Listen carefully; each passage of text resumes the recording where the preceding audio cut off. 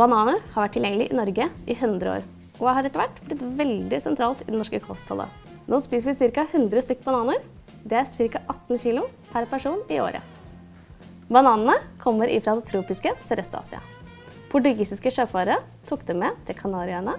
Spanjolene tok dem med til Mellom-Amerika, og det er der vi får alle bananene fra i dag.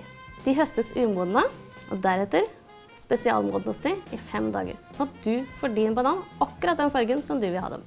Det finnes to typer bananer. Det er fruktbanan og kokebanan.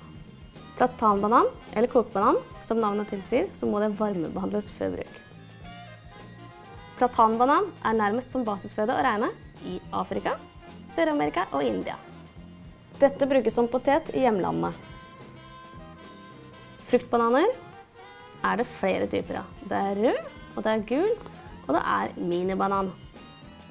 Karusell med banan er kjempegodt. Har du bananer, har du alltid pålegg. Så sunt og godt. Frokostblanding med banan gir en fin start på dagen. Har du overmodne bananer, del de i biter og legg de i fryseren.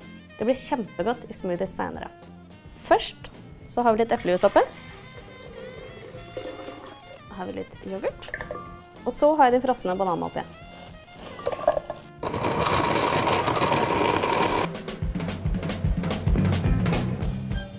Karbohydrater er det masse i bananer. Derfor kan du godt spise dem både før, under og etter trening.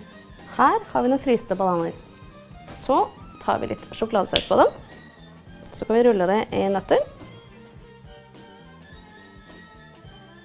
Banansplett en av verdens mest kjente desserter, og den er kjempegod.